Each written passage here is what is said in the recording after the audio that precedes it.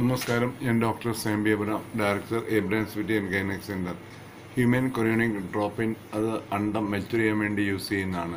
ഇപ്പോൾ L H ആയിട്ട് compare ചെയ്യുമ്പം അതിന് ലോങ് ഹാഫ് ലൈഫ് ഉണ്ട്. More than twenty four hours L എച്ചിന് sixty മിനിറ്റേ ഉള്ളൂ. അപ്പോൾ അത് സിക്സ് ഡേയ്സ് വരെ അത് വെയിറ്റ് ചെയ്യും. ഉണ്ടാവും. അത് എൽ എച്ച് എന്ന് പറയുന്നത് അത് പെട്ടെന്ന് സർക്കുലേഷനിൽ നിന്ന് ക്ലിയർ ചെയ്യും. ഈ ഈ role of H C G നൈവ്യൂ cycle ഓസൈൻ മെച്ചുറേഷനും വേണ്ടിയല്ല. പക്ഷേ അത് മാത്രമല്ല ഏർലി സ്റ്റേജ് ഓഫ് പ്രഗ്നൻസിയിലും അത് ഇമ്പോർട്ടന്റ് ആണ്. അപ്പം ഈ എൻഡോമെട്രിയത്തിന് ഈ എച്ച് സി ജി റിസപ്റ്റർ വേണം. എച്ച് സി ജി ഈ ഈ റിസപ്റ്ററുമായിട്ട് ഇൻട്രാക്ട് ചെയ്യുകയാണ് അങ്ങനെയാണ് ആ മെയിനൻസ് ഓഫ് കോർപ്പസ്ലൂട്ടിയം വരുന്നത്.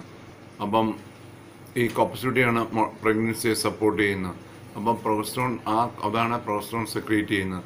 അപ്പം എസ് സി ജി വളരെ ഇമ്പോർട്ടന്റ് ആണ്.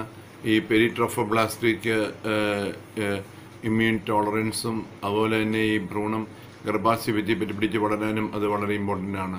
എന്നാൽ അതിന്റെ ഒരു പ്രോബ്ലം നമ്മൾ എസ് സി ജി കൊടുക്കുമ്പം ഈ ഓവറി കൂടുതൽ സ്റ്റിമുലേറ്റ് ചെയ്യാമെന്നുള്ളതാണ് അപ്പം ഈ ഈ ഹൈപ്പർ ഹൈപ്പർസ്റ്റിമുലേഷൻ ഈ ഡോസ് ഓഫ് യൂറിനറി ഗുണട്രോപ്പിനുമായിട്ട് കോറിലേറ്റ് ചെയ്യും.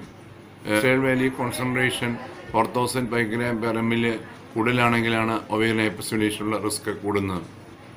റീകോമിനന്റ് പ്രിപ്പറേഷൻസ് ഒരു ഒരു അനദർ മെത്തേഡാണ് ബാച്ച് ടു ബാച്ച് വേരിയബിലിറ്റി നമ്മുടെ യൂണറി ഈ ഗുണട്രോപ്പിന് വരാം.